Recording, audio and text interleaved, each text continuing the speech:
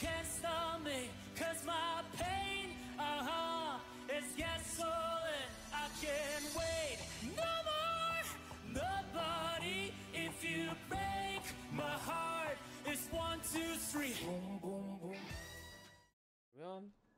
오늘은 힐러 빌드에 대해서 알아볼 텐데 자, 빌드 구성은 이렇게 되어 있습니다.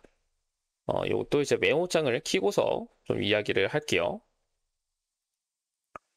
자, healer build. healer build도 어, 이제 healer에 영향을 주는 효과를 봐야겠죠. 힐링에 영향을 주는 효과는 하나밖에 없어요. 스킬 회복. 스킬 회복만 챙겨주시면 일단은 완성이 돼요. 그리고 어, healer build에서 지금 가장 meta가 되는 기어 세트는 미래 계획이라는 기어 세트입니다. 어, 철마에서만 drop이 됐던 미래 계획이지만 어, 현재는 거기 어디야? 카운트다운에서도 나오고 필드에서 나오죠. 카운트다운이나 필드 drop도 되고 철마에서도 drop이 됩니다. 그래서 미래 계획을 사용해 주시는 게 좋고요. 그럼 이제 어떻게 build를 짤 것인가? build 구성은 이제 첫 번째가 미래 계획 4셋을 사용하는데 어, 요즘 meta는 이제 미래 조끼를 착용하는 게 좋아요. 미래 계획 자체는 어, 방어도가 최대일 때 아군의 종합 무기 및 스킬 데미지 15%만큼 증가시키고요. 음, 방어도가 최대라면 최대일 때 데미지 10% 증가가 있죠. 아, 15%군요. 15% 증가. 그리고 본인 또는 아군 회복 시 5m 내 아군 자동 회복이 되죠.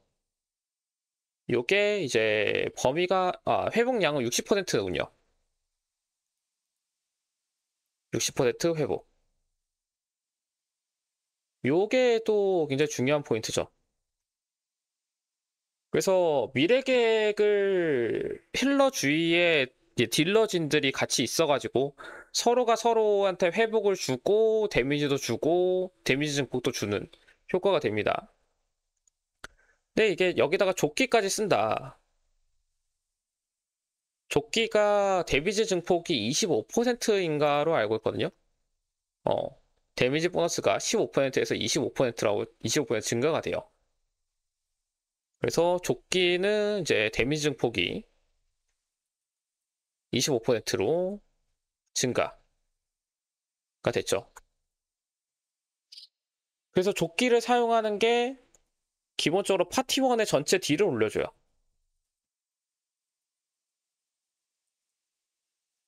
그래서 미래 계획은 미래 조끼를 사용한 미래 계획 4세트를 사용하는 게 좋습니다.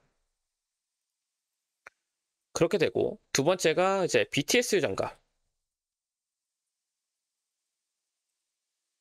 BTS 장갑은 이제 특급 장갑이죠.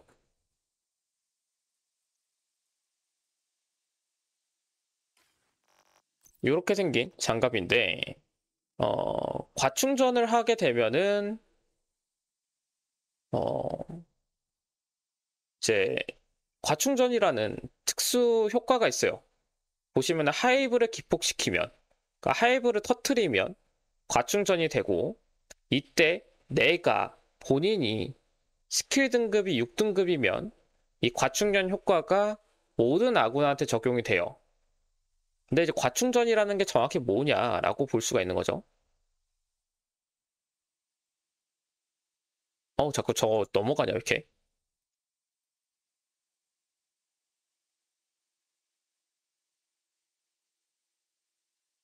아, 이게 제가 그 채팅창을 보려고 하니까, 아, 채팅창이 아니다. 메모장을 클려고 하니까 자꾸 저게 마우스가 움직여가지고 저기 넘어가는 거거든요. 음, 그러면 얘를 요렇게 만들어 놓고 넘기면 넘어가네. 에헤이. 알프스 공감의 결이랑 비교했을 때, 자, 일단 퀘스천이 나왔죠? 퀘스천부터 일단 해결할게요.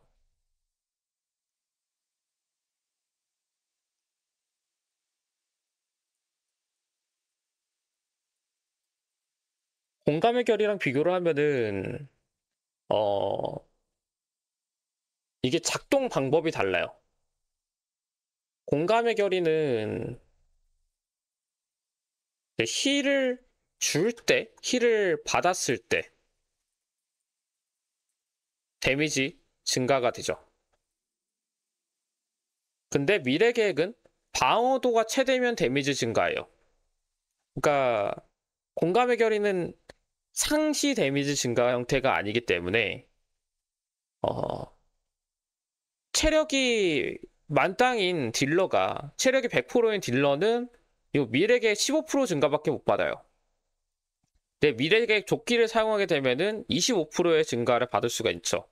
근데 내가 조끼를 안 쓰고 공감의 결의를 썼다라고 하면은 어 데, 히, 딜러가 기본으로 15% 증가했다가 데미지를 받으면 얘가 없어졌다가 heal을 받아야지 공감의 결의랑 같이 증폭이 돼요.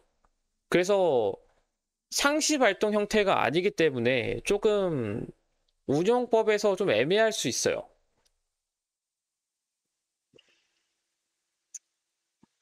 그래서 공감의 결의를 쓰겠다라고 하면요. healer가 heal을 진짜 잘 줘야 돼요. 근데 heal을 어떻게 잘 줘야 되냐면 heal을 계속 주는 게 아니라 딜러가 피가 빠지면 heal을 주고 빠지면 heal을 주고 이렇게 해야 돼요. 그래서 운영이 조금 애매하죠. 그래서 공감의 결의를 보통 어떨 때 쓰냐면 healer가 두 명이 필요한 경우 한 명은 미래 조끼를 쓰고요. 다른 한 명이 공감의 결의를 쓴다. 이렇게 보시면 돼요.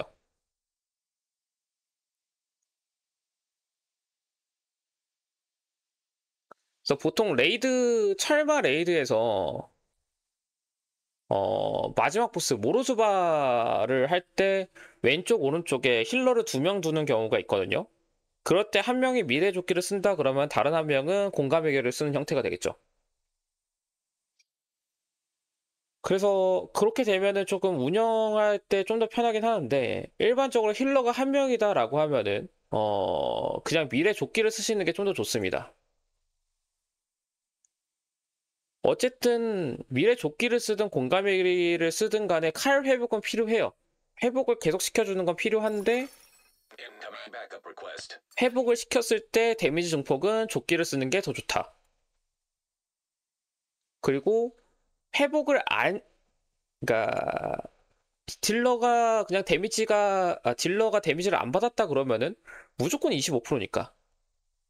그래서 초탄 데미지도 딜, 이게 좋고 나중에 증폭되는 데미지도 공감의 결의랑 같이 쓰는 것보다 조끼를 쓰는 게 더 좋고.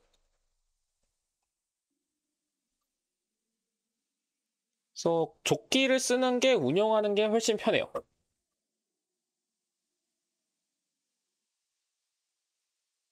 그래서 만약에 공감의 결의 조끼를 쓰겠다라고 하면은 이렇게 이런 상황일 때 써주시면 됩니다. 근데 그게 아니라 일반적으로 내가 공팟을 가거나 뭐 그냥 아는 사람들은 뭐 raid 아니면 습격을 한다 하시면은 조끼 쓰세요. 그게 좀 더 편해요.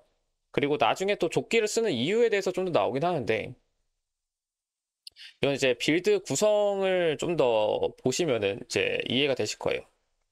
두 번째가 이제 BTS 장갑 좀 이어서 얘기를 하면은 BTS 장갑 특급 장갑이죠. 얘는 이제 특징이 과충전이라는 걸 할 수, 할 수가 있고 과충전은 이제 hive를 터트리면 작동이 됩니다. 과충전이 뭐냐? 이제 스킬에 대한 설명을 보시면 되거든요. 어, 요거는 지금 제가 speedrun용 build라서 스킬이 좀 다른 건데, 어,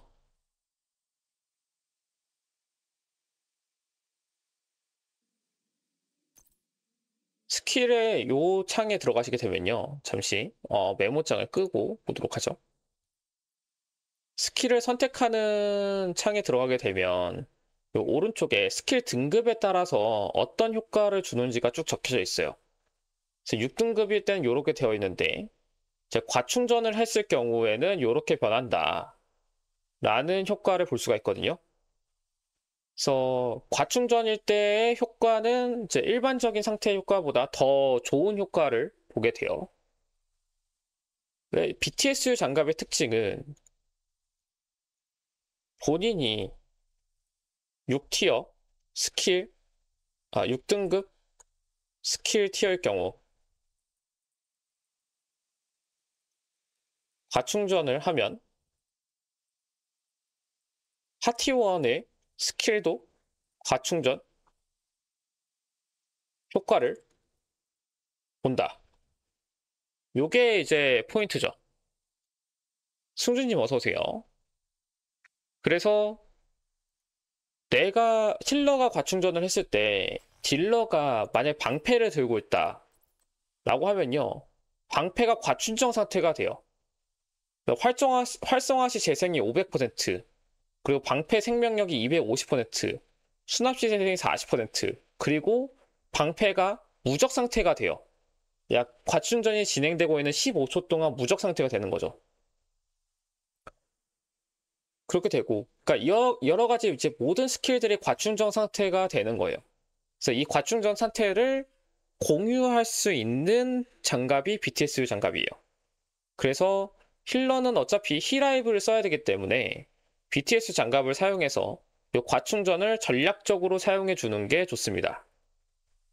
그리고 과충전의 또 다른 효과는 스킬 cool을 없애준 스킬 cool time을 어, 0으로 만들어 준다. 이것도 굉장히 중요한 포인트죠. 이게 왜 중요하냐면은 제 운영할 때 파티원이 소생 hive를 사용했다. 자, 소생 hive는 여러분들 다 아시죠? cool이 굉장히 길다는 거. cool이 120초, 120초보다 더 긴가? 몇 초더라? 소생 hive가? 여하튼 소생 hive도 스킬 tier가 올라가야지 cool이 짧아지는데 우리가 보통 이제 0 tier 딜러들은 0 tier잖아요.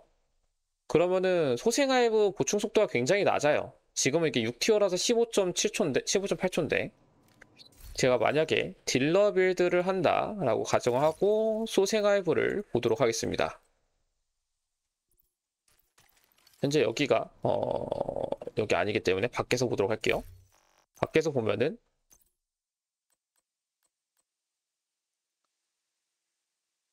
소생하고 지속 보충 수가 30초네요.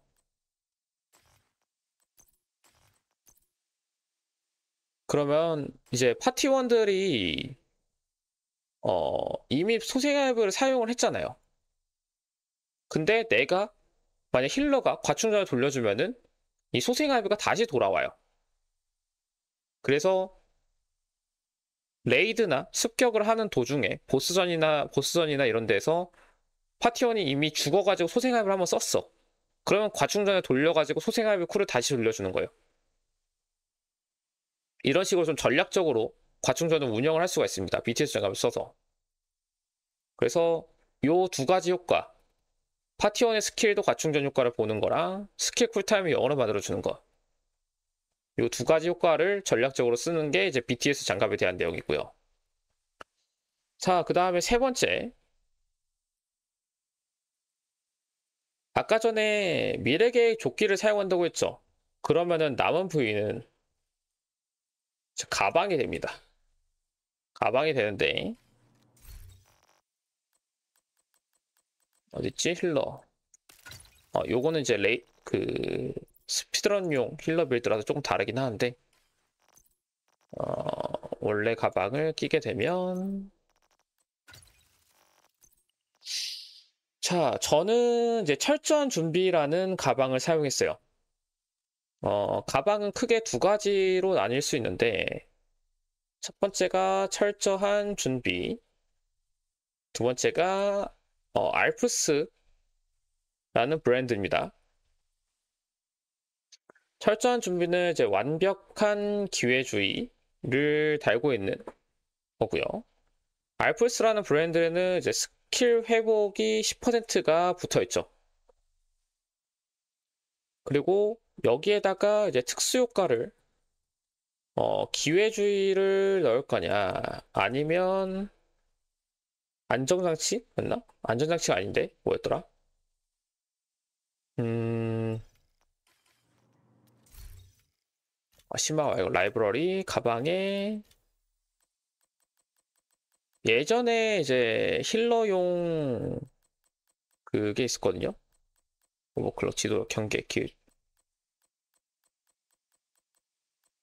안전장치 맞나요? 어 맞다 안전장 어 안전장치 어 기회주를 넣을 거냐 안전장치를 넣을 거냐 요렇게로 구분이 돼요. 기회주의 같은 경우는 이제 debuff 효과죠.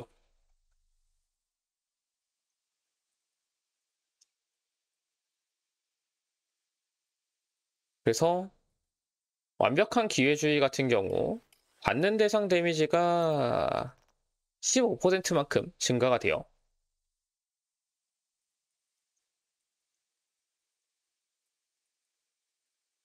대신에 산탄총 또는 지정사소총을 사용해야 됩니다. 근데 우리는 healer build로 스콜피오를 사용하죠. 그래서 스콜피오 쓰시면은 어 스콜피오의 debuff 효과도 있죠.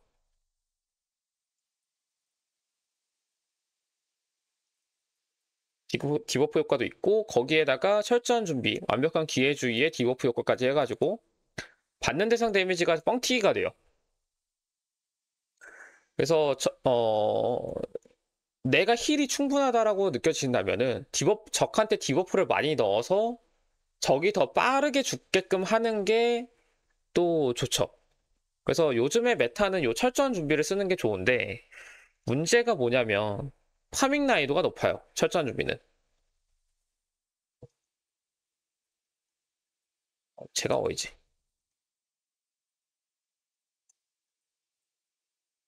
어, 듀라님 어서 오세요. 왜냐하면 철저한 준비가 주속성이 방어로 나오거든요. 근데 우리가 속성에 스킬 회복, 스킬 가속을 붙여서 나와줘야 되는데 이 두 개가 모두 붙어야지만 주속성의 방어인 거를 전력으로 바꿀 수 있죠. 근데 두 개 안, 두 개가 안 붙어 나오면은 못 바꿔요. 그래서 얘가 farming 난이도 높기 때문에 두 번째 이제 알프스라는 브랜드에다가 스킬 회복 10%가 이미 달려 있고 여기에 기회주의를 달아 쓰는 거예요. 일반 기회주의는 받는 대상 데미지가 10%입니다. 5%가 빠지지만 요걸 써도 괜찮아요. 음, 없으시면 괜찮습니다. 기회주, 일반 알프스에다 기회주의 쓰셔도 돼요. 그리고 내가 진짜 기회주의도 없다라고 하면 이제 안정장치를 쓰시는 건데 안정장치는 스킬 회복이 100% 증가하는 거예요. 대신에 최대 체력일 때 그래서 어차피 heal을 계속 해줄 거면은 안정장치를 줘가지고 스킬 회복, 그러니까 heal을 더 많이 해줄 수 있는 형태로 가는 거죠. 옛날에는 기회주의가 buff를 먹기 전에는 대가 아이지. 기회주의가 buff를 먹기 전에는 안정장치를 많이 썼어요. 근데 지금은 기회주의가 buff를 먹고 거기에다가 Sledgehammer라는 또 제가 CC 빌드 설명할 때 써, 말씀드렸던 어, 네임드 기, 네임드 경 사건 있죠? 네임드 산탄총이 있는데 이 산탄 네임드 산탄총 기회주의 때 어, 왼손잡이 때문에 요 기회주의를 많이 씁니다. 기회주의를 많이 써요. 그래서 요렇게 세 가지 중에서 한 가지 선택을 하시면 되고요. 자, 그 다음으로는 이제 무기가 되겠죠? 무기는 스콜피오 필수고요. 그 다음에 왼손잡이 어, 강력히 추천합니다. 강력히 추천해요. 그래서 스콜 피오는 이제 기회주의랑 같이 해서 그냥 보스 딜링만 하면 돼요. 그리고 왼손잡이를 쓴다.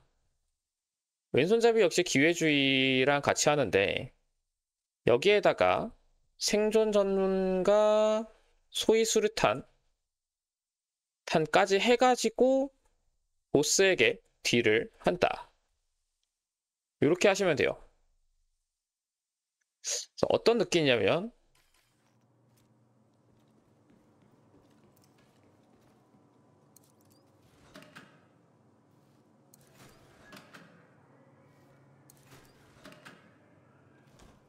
자, 적에 보, 보스가 있다고 해요. 잠시 메모장을 끄고 보스가 저기 있죠? 그러면은 수류탄, 소위 수류탄을 이렇게 던져요. 대신에 왼손잡이를 들고 있어야 됩니다. 내 손에 왼손잡이가 있어야 돼요. 그러면 저기 망치 모양이 켜지죠?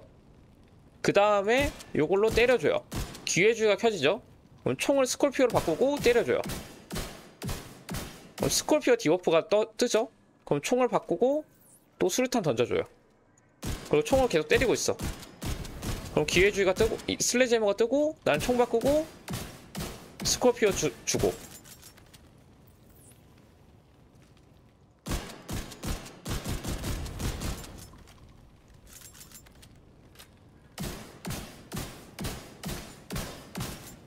이렇게 해주는 거예요. 그래서 손이 좀 바쁘긴 해요. 손이 좀 바쁘긴 하지만 이거를 해줄 수 있냐 없냐에 따라서 보스한테 딜이 얼마나 들어갈지 안 들어갈지가 결정이 됩니다. 왜냐하면 자 철저한 준비가 15%죠. 받는 대상 데미지. 그리고 왼손잡이가 받는 대상 데미지가 40%입니다. 메모장을 다시 키고 이렇게 되면은 왼손잡이가 받는 대상 데미지 40% 에다가 기회주의가 15%고 생존 전문가가 또 15, 10%였나? 잠시만요. 생존 전문가 한번 확인하고 갈게요. 생존 전문가가 이제 소위 수류탄이 상태 이상 효과이기 때문에 상태 이상에 걸린 대상에 대해서 받는 데미지 증가가 있거든요. 생존 전문가 10%군요. 그러면 생존 전문가 10%죠? 요거 다 더하면 몇이냐? 40에, 50에, 65%. 65% 데미지 증폭이 돼요. 그러면은 내가 딜러의, 딜러의 데미지가 100만 데미지가 나온다고 쳐요. 에헤샷 때리는데 100만이 떠요. 그럼 얘가 165만이 되는 거죠.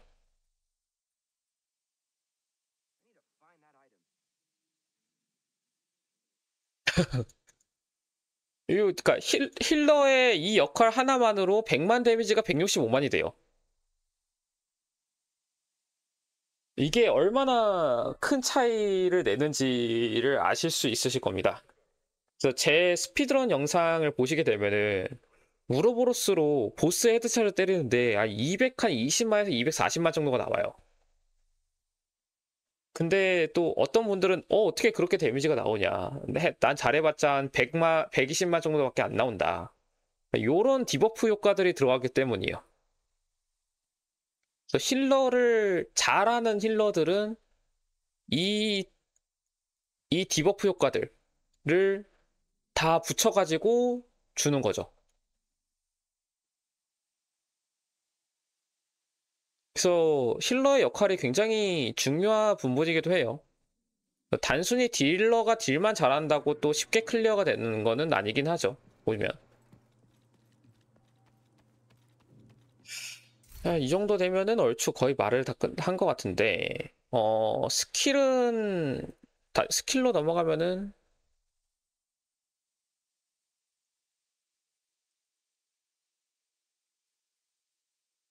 왼손잡이는 하변산, 기회주는 고변산이라 당순 65% 다를 수 있어요.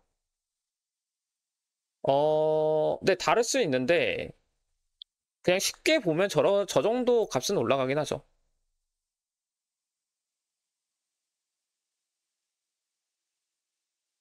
음,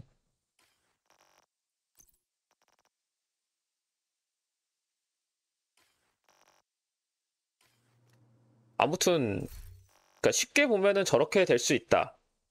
요거는 이제 정확한 계산은 아닙니다. 예측 수치. 어. 근데 이것보다 더 나올 수는 있어요. 고변산이 포함이 되어 있기 때문에. 더 나올 수 있어요. 어쨌든 skill로 넘어가야 되면은 이제 heal hive랑 heal 발사기. 이게 두 개 기본으로 써주시면 되고요. heal hive는 이제 과충전이 필요한 부분이죠. 그리고 네, 운영은 내가 기본적으로는 heal hive를 깔고 어, 총으로 기회 왼손잡이와 스콜피오로 debuff를 넣어 주다가 과충전을 하면 heal 발사기를 연속으로 딜러 주위에 깔아서 어, 중첩 heal을 들어가도록 이렇게 하는 하면 됩니다. 그래서 그동안 heal hive는 cool이 돕니다. 한 20에서 25개 차면 하이브 깔면 돼요.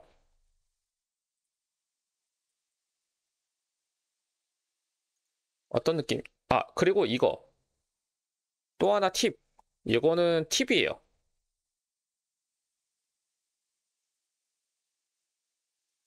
과충전 빨리 하는 방법.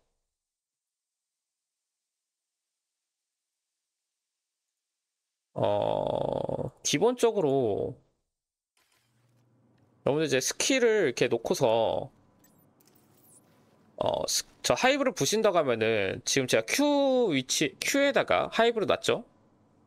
그럼 Q를 꾹 누르게 되면은 이렇게 터지게 되잖아요? 그럼 과충전이 돌아오죠. 보통은 이렇게 하실 겁니다. 근데 요거 말고 어, 설정에 가시면요. 단축키 지정에 그 어디니? skill skill skill 어 요원 스킬 1 즉시 사용이라는 게 있어요. 스킬 사용은 Q와 E로 되어 있지만 스킬 1 즉시 사용이라는 게 있습니다. 저는 이제 Q 스킬에 하이브를 넣기 때문에 요원 스킬 1 즉시 사용에다가 Caps Lock으로 지정을 했어요. 그래서 hive를 던져놓고 그다음에 Q 키를 누른 상태로 Caps Lock을 누르면 바로 터져요. 그래서 하이브만 그 Q 스킬만 꾹 누르면은 약 1.5초에서 2초가 걸리는데 즉시 사용 키를 같이 사용하면은 바로 터뜨릴 수 있습니다. 0. 몇초 걸릴 거예요. 그래서 어떤 팁이냐? 이제 설정에 단축키에 들어가서 요원 스킬 즉시 사용 키 정하, 정하기. 단축키가 있어 단축키지. 그래서 요거를 즉시 사용 키를 쓰시면요 진짜 원하는 타이밍 때 언제든지 편하게 과충전을 할 수 있어요 요거는 좀 익숙해지시면 좋습니다 요거 좀 쓰시는 게 좋아요 그래서 요 정도로 하- 얘기를 하면은 얼추 빌드랑 운영 정도는 얘기가 된 것 같아요. 아, 그래서 다시 한번 말씀을 드리지만, 아, 다시 한번 말씀을 드리는 건 아니지. 그, 아까 질문 내용 있죠? 요거 공감의 결의랑 비교하는 내용. 그 공감의 결의의 딜 비교, 딜 올라가는 것보다 이 스콜피오, 철저한 준비라는 가방을 써가지고 요 스콜피오나 왼손잡이, 스콜피오 왼손잡이, 소이수류탄으로 요 debuff를 넣는 damage 값이 훨씬 좋아요. 그리고 어차피 힐은 하이브나 하이브나 어떤 힐 발사기로 힐을 개- 힐을 줘서 25% 증폭을 주게끔 하면은 이, 처- 이 값을 다 합쳤을 때 더 높은 damage를 줄 수 있습니다. 보스한테. 그래서 요즘 추세는 공감의 결의 조끼를 쓰는 것보다 미래 계획 조끼를 쓰고 완벽한 기회주의, 철저한 준비라는 named 가방을 사용해서 적한테 왼손잡이와 함께 debuff까지 주는 것. 요게 현재 healer build의 meta라고 볼 수가 있을 것 같아요. 자, 그러면은 정리를 할게요. 자, healer build 정리. 자, 첫 번째 전문화는 생존 전문가. 두 번째 빌드 구성은 미래 계획 4세트 조끼 포함. 그 다음에 BTSU 장갑. 세 번째는 어, 철저한 준비 가방, named 가방이죠. 또는 알프스 브랜드죠. 그 다음에 여기에 기회주의 나 저는 기회주의 추천드리긴 해요. 안전장치도 있긴 하긴 하지만 웬만하면 기회주의로 가셔서 좀 debuff를 넣는 연습을 해주시는 게 좋습니다. 그리고 무기는 스콜피오 필수고요. 왼손잡이 강력히 추천드립니다. 왼손잡이로 debuff를 넣어줬을 때 보스의 dealing이 deal량이 확 올라가기 때문에 진짜 이것만큼 좋은 지금 supporting용 shotgun은 없을 거라고 봐요 저는. 그리고 네 번째 스킬은 heal hive, 그다음에 heal 발사기 이렇게 두 가지 써주시면 돼요. 어... 왜, 왜, 왜 올라가다 말아? 어, 요렇게, 요렇게 하면은 정리가 될 것 같습니다. 그래서 연습할 것은, 음, 기회주의와 왼손잡이, debuff 넣는 방법, 연습하기, 숙달 해주면 아주 좋다. 이렇게 하고 healer build에 대해서는 정리를 할 수 있을 것 같습니다.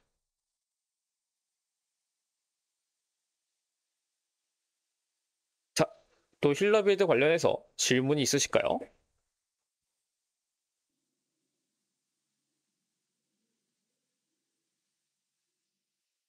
따로 없으시면은 어, 이걸로 일단 마무리는 하도록 할게요. 그러면은 녹화 끝. 감사합니다.